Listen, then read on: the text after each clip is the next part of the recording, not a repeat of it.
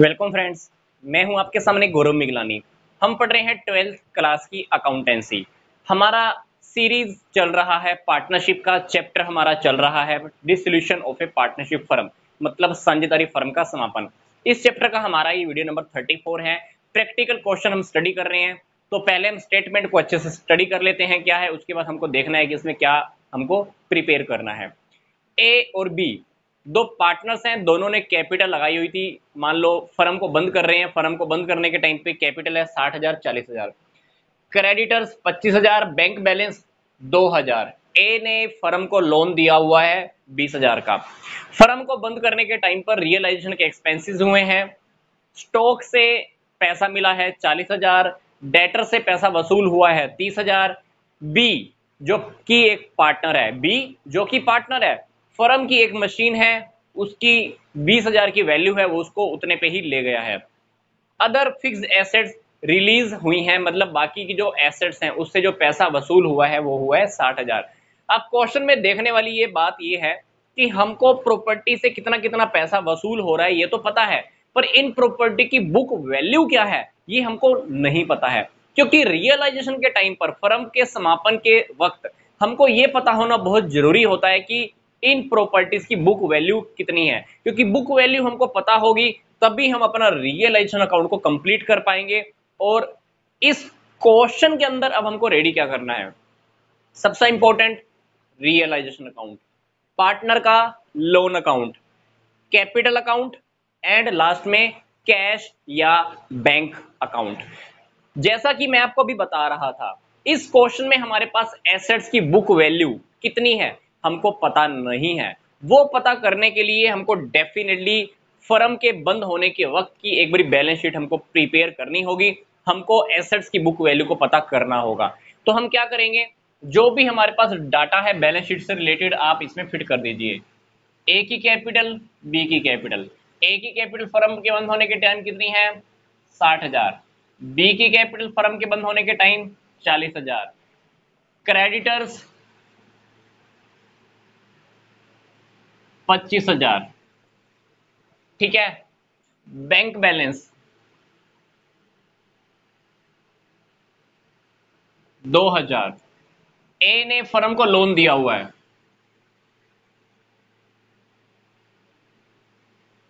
बीस हज़ार। ठीक है? अब हमको क्वेश्चन में देखो ध्यान से।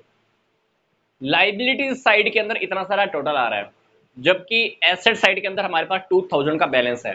मतलब ये जो बीच का जो डिफरेंस है आपको नज़र में आ रहा है गैप इस गैप को हम कह सकते हैं कि ये एसेट्स हैं, ये एसेट्स की बुक वैल्यू हमारे पास फाइंड आउट हो जाएँगी। तो अब हम क्या करते हैं? लाइबिलिटीज का टोटल कर देते हैं। एक लाख एक लाख पच्चीस हज़ार और ये एक लाख पैंतालीस हज़ार। दो हज़ार आप लेस कर देना तो हमारे पास एक लाख तिरयालीस हज़ार। हमारे पास एसेट्स की वैल्यू आ गई है। इसको हम ब्रैकेट में लिख सकते हैं बैलेंसिंग फिगर इसके बाद आप क्या कीजिए? बैलेंस शीट को आप यहाँ पे स्टॉप कर दीजिए। मेन टारगेट हमारा ये था फाइंड आउट हो चुका है। अब हमको क्या करना है? सिंपल सी बात रियलाइजेशन अकाउंट एसेट्स को ट्रांसफ़र कीजिए। टू सन्ट्री एसेट्स एक क्रेडिटर्स को by creditors twenty five thousand ठीक है? क्वेश्चन में ये देखिए स्टॉक के रिलीज़ होने से चालीस हज़ार डेटर के रिलीज़ होने से तीस हज़ार अदर एसेट्स की सेल होने से साठ हज़ार। तो साठ, तीस, नब्बे नब्बे और चालीस एक लाख तीस हज़ार रुपए।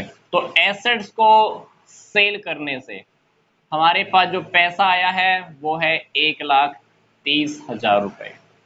ठीक है, आप यहाँ पे बैंक अकाउंट यूज़ करना, क्योंकि क्वेश्चन में हमारे पास बैंक बैलेंस गिवन है। ठीक है तो एसेट्स को सेल करने से साठ, तीस, नब्बे और चालीस, एक लाख तीस हज़ार हमारे पास पैसा आ गया।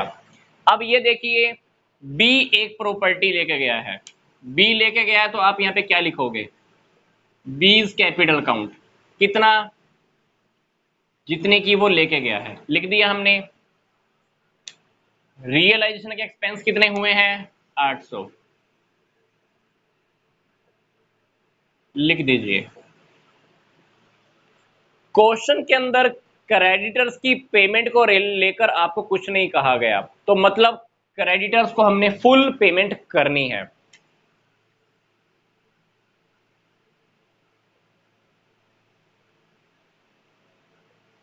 ये क्रेडिटर हमने पेमेंट कर दिया। क्वेश्चन में ये देखिए, हमारे पास क्या रियलाइजेशन में लिखने के लिए कुछ और है क्या? ए का लोन नहीं लिख सकते। इसके लिए हमको लोन अकाउंट अलग से रेडी करना है। क्योंकि फर्म के रूल्स के अकॉर्डिंग फर्म के समापन होने के रूल्स एंड रेगुलेशन के according question realisation account ready करती है। उसके बाद अगर किसी पार्टनर ने फर्म को लोन दिया हुआ है तो उसके लिए हम लोन अकाउंट अलग से रेडी करते हैं। तो मतलब हमारे पास कोई भी और आइटम आप फिट करने के लिए नहीं है। हम क्या करेंगे? रियलाइजेशन अकाउंट का टोटल कर देंगे डेबिट और क्रेडिट साइड का। तो हम क्या करते हैं?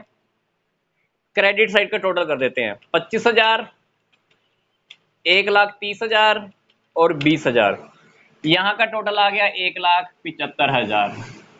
एक पिचहत्तर में से हम ये वाला तीनों लेस करके देख लेते हैं। 143 minus twenty five minus eight यहाँ पर देखिए क्या हमारी कोई एक आधी आइटम और लीव हो गई हो। टोटल एक बार दोबारा करके देखते हैं।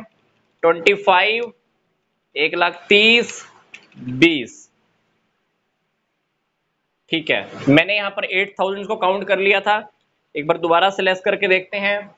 Minus eight hundred minus twenty five thousand. हमारे पास सिक्सटी टू हंड्रेड का प्रॉफिट आ रहा है।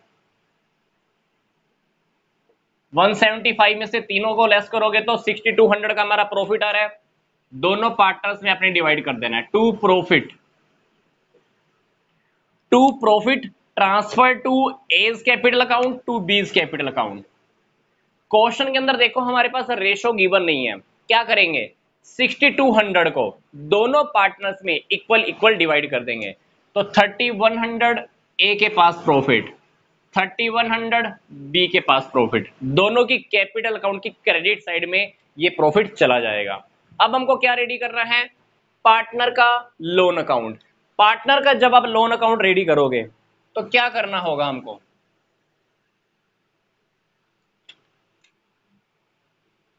यहाँ लिख देना A's loan account by balance BD loan कितना था? बीस हज़ार। यहाँ पे क्या कीजिए? पेमेंट कर दीजिए। बस लोन अकाउंट हमारा खत्म हो जाएगा। दोनों तरफ़ टोटल लगाइए। और लोन अकाउंट हमारा प्रिपेयर हो गया। तो रियलाइजेशन अकाउंट बनाने के बाद जो हमारा सेकंड स्टेप होता है, वो होता है पार्टनर का लोन अकाउंट तो क्वेश्चन में हमें देख लेना चाहिए कि क्या किसी पार्टनर ने फर्म को लोन तो नहीं दिया हुआ है। लोन दिया हुआ है तो लोन अकाउंट उसका क्लियर कर दो। लोन अकाउंट बनाने के बाद हम क्या करेंगे? कैपिटल अकाउंट तो कैपिटल अकाउंट दोनों पार्टनर की opening capital by balance BD साठ चालीस। Profit one hundred thirty one hundred लिख दिया? क्वेश्चन के अंदर बी एक प्रॉपर्टी लेके गया था बीस हज़ार की। तो बी के डेबिट में लिख दो। टू रियलाइजेशन अकाउंट कितने की प्रॉपर्टी लेके गया? बीस हज़ार की। लिख दिया? क्वेश्चन में और देखिए क्या हमारे पास कुछ पार्टनर्स में और डिवाइड करने के लिए ना हो। अगर नहीं है तो हम क्या करेंगे? दोनों का टोटल लगा देंगे। Sixty three thousand one hundred, यहाँ पर कुछ नहीं है। बी के इस टोटल में से हम बी के इस टोटल में से ये टोटल आप लेस कर दो। तो यहाँ फर्म क्या करेगी? इनको फाइनल पेमेंट कर देगी। क्या लिखना है अपन यहाँ पे? टू बैंक अकाउंट यहाँ पे दोनों साइड टोटल इक्वल हमारा इक्वल हो जाएगा।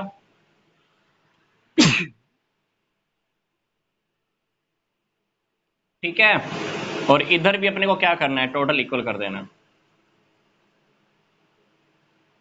सेम टोटल हमने यहाँ पे भी लिखना है। डबल अंडरलाइन करके बंद कर देना। क्वेश्चन में हमको क्या करना था? फाइनल पेमेंट का पता करना था यहाँ से। यहाँ से हमने प्रॉफिट फाइंड आउट करना हमारा टारगेट था। लोन अकाउंट की हमने पेमेंट कर दी। फाइनल पेमेंट इन दोनों को कर दी। अब हम क्या करेंगे? क्योंकि क्वेश्चन में हमारे पास बैंक बैलेंस दिया हुआ है, इसलिए हम यहाँ पे क्या रेडी करेंगे? Bank account bank balance starting से हमारे पास कितना रखा हुआ है? टू थाउज़ेंड यहाँ लिख दीजिए। अब ये देखिए कि हमारे पास पैसा कहाँ कहाँ से आया है, कहाँ कहाँ से गया है। दो ही बातें चेक करनी है। पैसा कहाँ से आया, कहाँ से गया?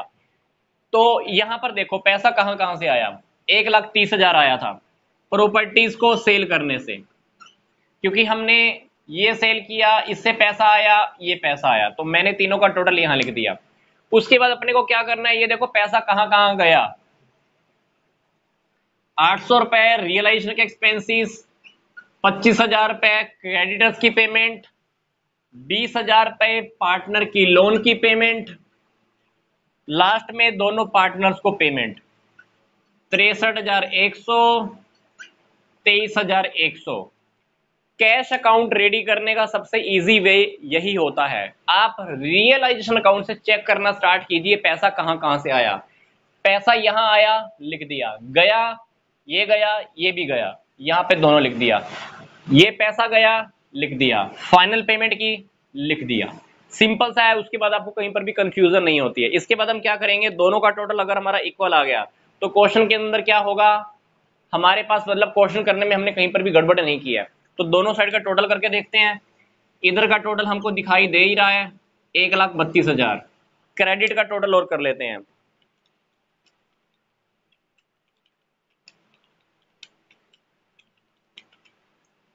Right one three two triple zero.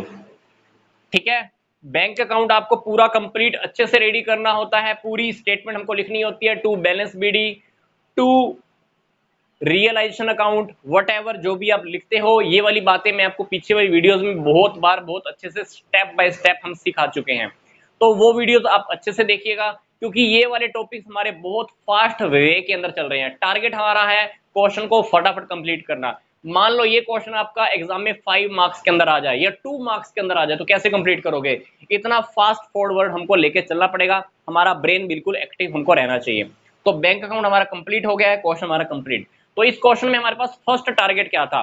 Sundry asset cell की, ये तो पता है। कितने में सेल की? पता नहीं। बुक वैल्यू हमने सबसे पहले फाइंड आउट कर ली थी। बुक वैल्यू फाइंड आउट करने के लिए हमने क्या किया? बैलेंस शीट रेडी किया, फिर रियलाइजेशन अकाउंट रेडी किया। क्रेडिटर्स को पेमेंट करने के बारे में क्वेश्चन में कुछ नहीं कहा गया था। तो इसलिए हमने क्रेडिटर्स को पच्चीस हज़ार की फुल पेमेंट की। प्रॉफिट आया, ट्रांसफ़र किया, कैपिटल अकाउंट स्टार्ट किया, फाइनल पेमेंट की। इससे पहले लोन अकाउंट स्टार्ट किया था, लोन अकाउंट की मैंने पेमेंट कर दी।